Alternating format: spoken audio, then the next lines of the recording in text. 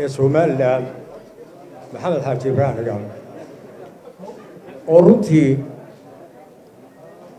markaan xafladda anigu imi aan qawaday tirada dada ka soo qayb galay oo markaan arkay dhinac dhan oo maro baa idhi waa waan waan qawaday runtii laakiin waxaan idin ballan qaadayaa marka dambe haddii ilaahay nafta ii daayo kuwa dambe abaabulkooda inaan ka qayb galo.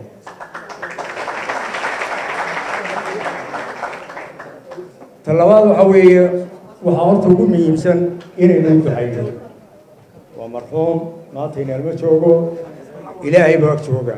Inaynu ilaahay u barino inuu naxariistiisa uu ku aaro. Ta labaad waxaa weeye maxamed xaaji ibraaniga taariikhdiisu waa taariikhda somaliland badankeeda intii yarayda u dambeysay intii yaraydee jabhadda mooyaane oo iyadana anigu aan qababa in raggii bilaabay inuu ku jiro labiyo toban sano u xidhnaa qadeen dee waqooyi baad ambareebaad waxa weeyaan xorriyadda markaynu helinayna isagoo inayana ayuu la dhiilgaraynayuu la jaalgaraynayay hayla salaasay toonkii atay qaar dhali kara fifty sevenkii buu igna ka yimo fifty eightkiina wuxuu noqday xogeeyaha guud ee sanad qofka inuu karti dheeraada wato halkaasaad garan kartaa waxaa kaloo jirta somaliland markay dhimana dee qaybtii ugu muhiimsanay isaga madaxda ahaa ee dib u yeegleelidii somaliland markaana wuxuu xukumay oo uu amar siinayey oo uu la macaamilayey oo uu la tashanayey oo hawsha la waday kuwa u dhali karo ama awood noqon karo labadiiba uu ka midadbeeyey kuwii ka waaweynaya kuwii yara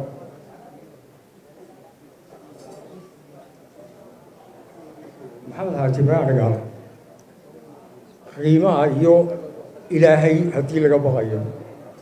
Qiimo lagu qiimeeyo wax lagu qiimeeyo oo lagu xusuusto uu gashaday dalka dhinaca maamulka markaad eegto waxaaba laga yaabaa inay malaha dadku u haystaan ninkii ugu waktiga dheeraa badan ee la joogay maxamed xaasbiraaniga cabdillahi maxamed baalaga baan xoogaa? Dhowr samiin dheeriyaa malayn laakiin inta kale inaan anugu badanaa laga yaabaa waktigii aanu wada shaqaynaynayna wuxuu ahaa waktigii ugu adkaa intii somaliland dib loo yegleelaya waktigii ugu adkaaba waxyaabaha aynu kaga baxnay ilaynaba dad badan oo nooc waliba ku jireen aynu ciidaa ka badan oo boqol madaxweyne noqon karayaa jiray. Waxyaabaha kaga baxayna aynu kaga baxnayna waxaa ka mid ah.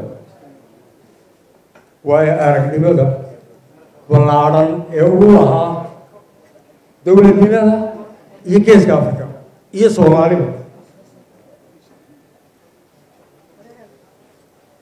wax badan oo intii aynu burburay ee dowladnimada antisanay ina hadimeynla ee sidaa soomaaliya ina agadaaminla aqoontiisa iyo waa aragnimadiisa kaga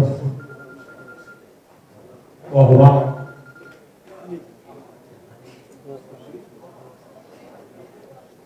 waxaa kaloo lahaa sifooyin runtii dadka intaniba ay yartay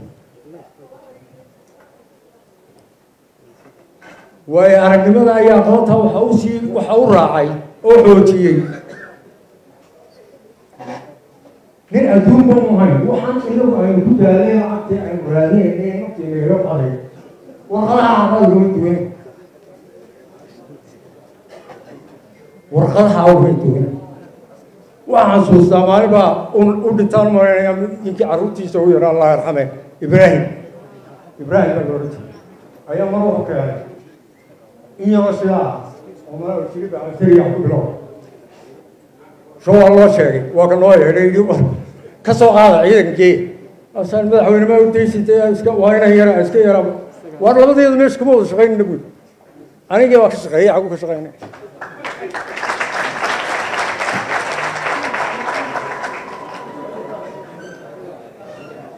isaga iyo ragga la fulinaya hawsha la wadayba waxa u suuro geliyey inay suuro gasho. Aqoonta iyo waaragnimada iyo iyo hagarasho la'aanta uu ahaa. Iyo hagarasho la'aanta uu ahaa.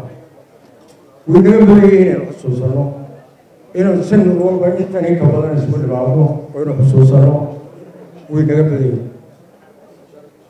mar labaad u ducaynaya martida sharaf kale iyagana hadalka badin maaye waxaan ugu mahadnaqayaa dhegeysiga aan dhegeystay wasalaamu calaykum waraxmatullahi wabarakatu